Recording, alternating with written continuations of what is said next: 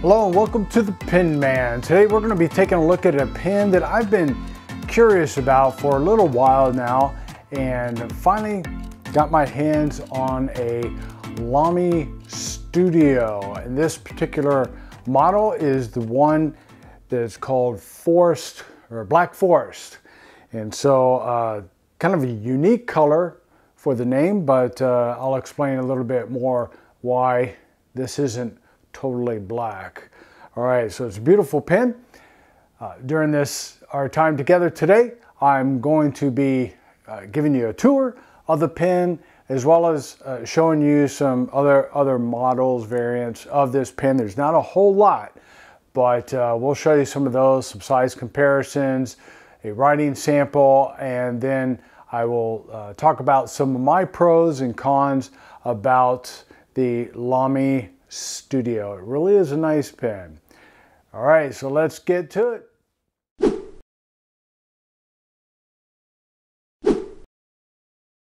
All right, the Lamy Studio comes in this uh, kind of a gray box. I'm not sure if they all come in this kind of box, but anyway, this one did and uh, just with the Lamy, and then C, Josef Lamy, and then that word there means something to the effect of limited or um, incorporated or whatnot. All right, so you take this cardboard sleeve off and you have a, uh, with the same material, you have this clamshell uh, case. You open it up, let me get some better light in here.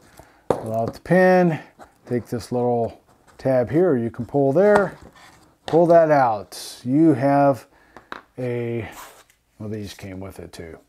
You have this uh, warranty card there, and you have this care and cleaning guide, and on this side you have a little catalog of all the different uh, pins that Lamy makes, the different styles. We've got the studio right there on the end.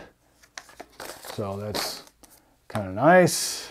Inside you're going to have a proprietary cartridge and there's a converter too, but I have it in my pen. And as a bonus, you have this styrofoam noodle.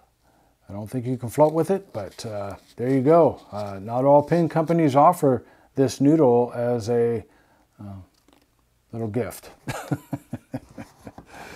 oh my goodness. Okay, so get that out of the way. And then it, for just even some more extra protection, it comes in this uh, little plastic sleeve. Alrighty. Alrighty, here's a tour of the Lamy Studio fountain pen. The again, the price is $79. I got that from uh, Pen Boutique Price is similar at Goulet and Goldspot. If you want a gold nib, it's going to cost, or the gold nib model of Lamy Studios is uh, 183. It's not the same Black Forest uh, color. Of course, you can order the nib separate, the gold nib separate, but uh, then I think they have another special edition.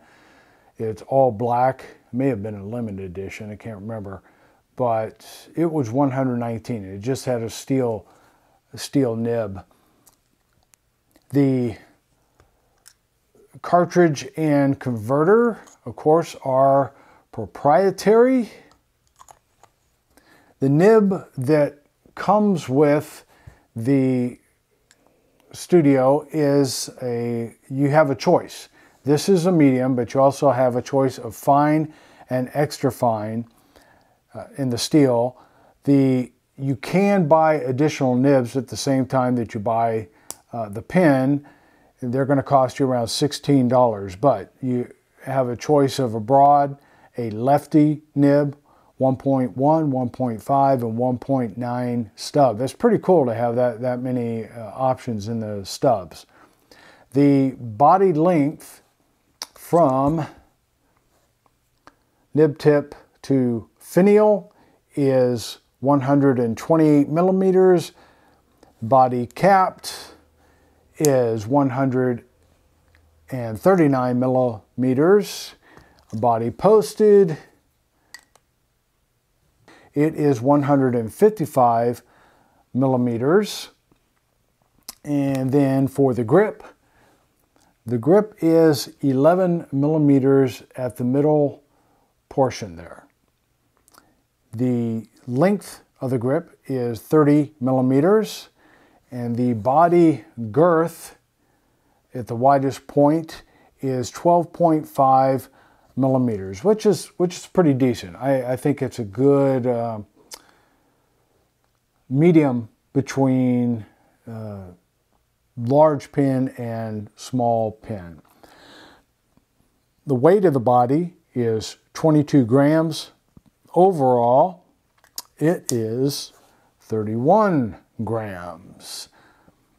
Again, the color on this pin is uh, it's called forest black, but it really isn't black. It's it's dark. It's like a dark green and a metallic. Let me see if I can zoom in here and get you a better better look at that color. Hopefully I'm in focus there. So I'll just try to wave it around there. You can see the metallic glitter, so to speak, in there, but it's like a dark green, almost uh, maybe with a hint of gray in it. I, I think it's really a pretty color. If you look at uh, the thumbnail, and I'll put that up there real quick, uh, you know, a black forest is not black.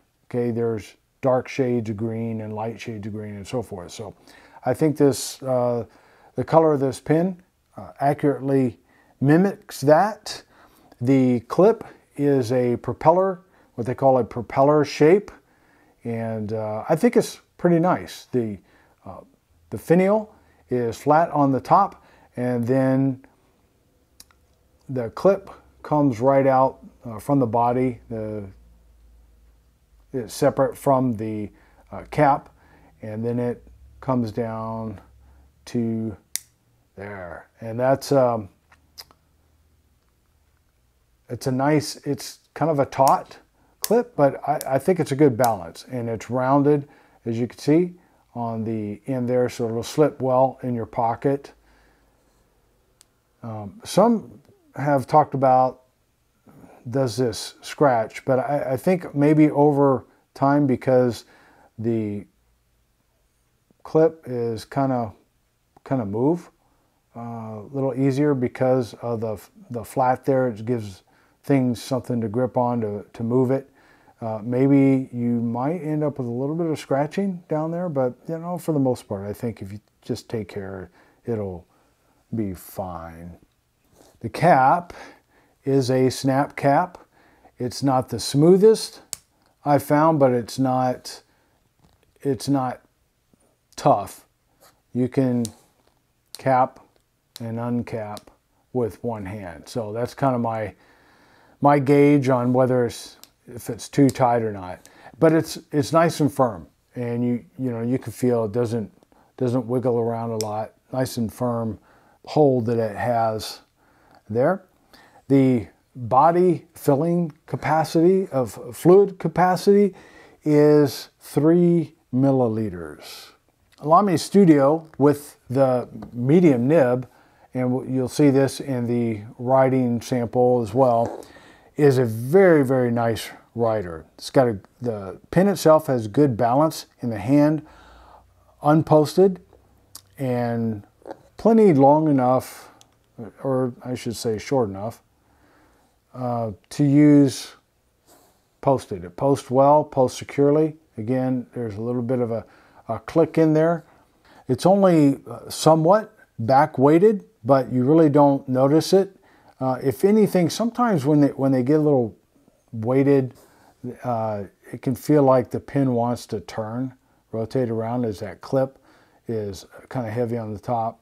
Maybe comes around, but I, I don't know. If you like to post your nib, I don't post your cap. I don't think this is uh, going to be a problem. So it's got it's got pretty good uh, width, and then the uh, little step down there after you posted it to me, even though it meets it on the knuckle there, it, it really isn't noticeable. The inside of the cap, I think they they either ground it down, kind of rounded the, the cap and uh, smoothed that out, or it's just where the uh, lacquer, body lacquer, kind of wraps around into the inside. I think that really has helped it um, that to be smooth. It looks sharp.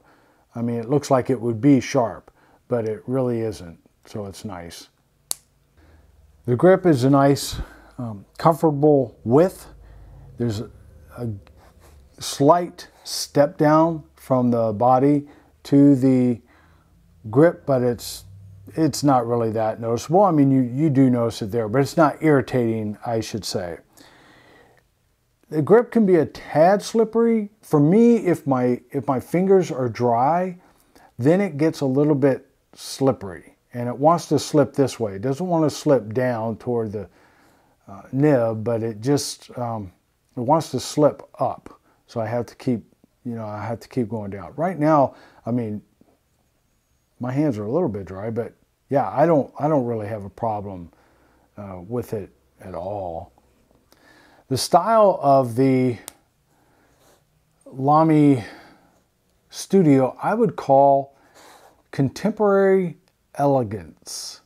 You know, it looks modern, but there's some vintage uh, form to it as far as it's, you know, it's not overstated, uh, but it's not really understated. I think the clip really helps there. Something different. It gives it uh, a little modern uh, twist there, but it does have some elegance to that.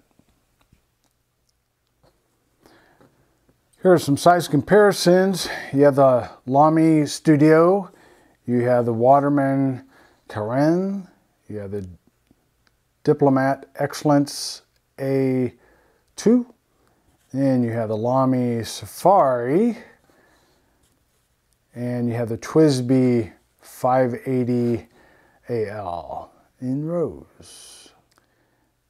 Here they are uncapped. And here they are posted. All right, here's a writing sample of the Lamy Studio. And this is the not limited, but um, special edition 2021 called the Forest Black.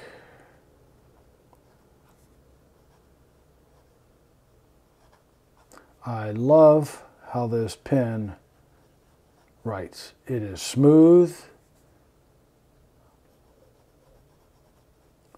moderately wet. The ink is Diamine Blue Black.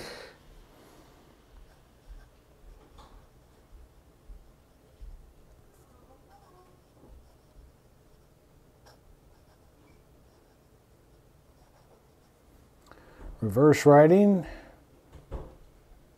Very good.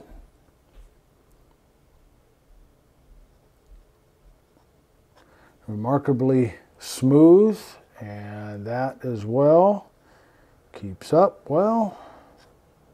Man, no problems, no problems at all. This is a this pen is a pleasure to write with.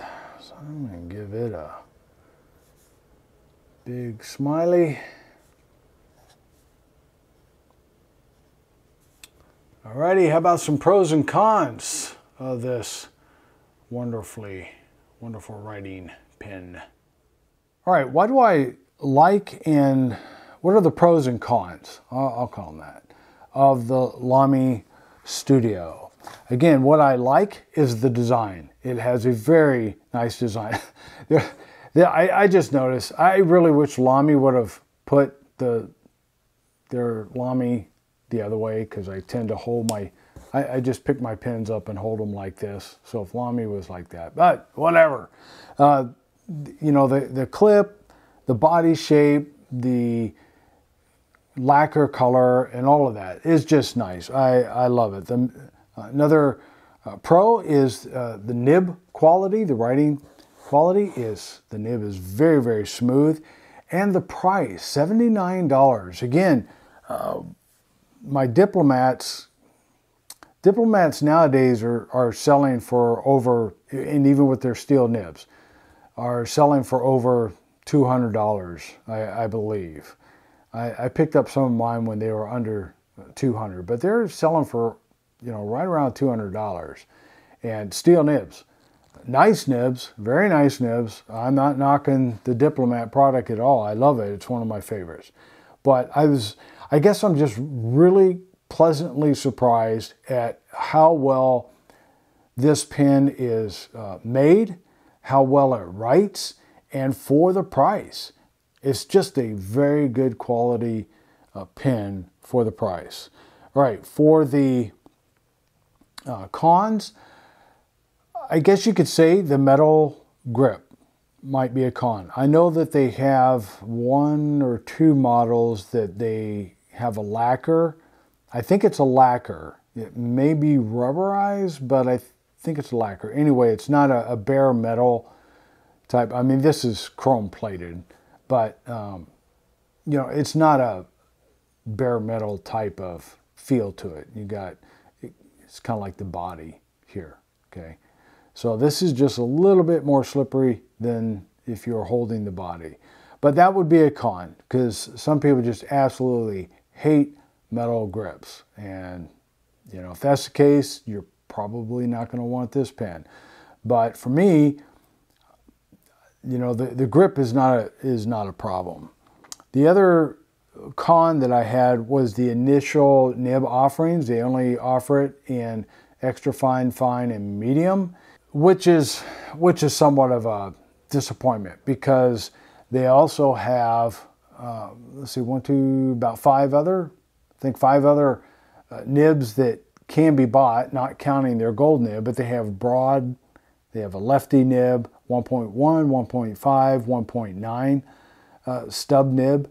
So, you know, it's um, it's kind of a disappointment that you can't get those options when you buy the pen to begin with, because otherwise you know, you're you're going to have to be paying another sixteen dollars. But I do understand. Uh, I mean, the most popular nib sizes are those three extra fine, fine, and medium. So uh, I, I, can understand uh, maybe from a manufacturing and uh, standpoint, uh, cost, and all that, just to uh, give those options there. But then you also have, of course, your gold nib.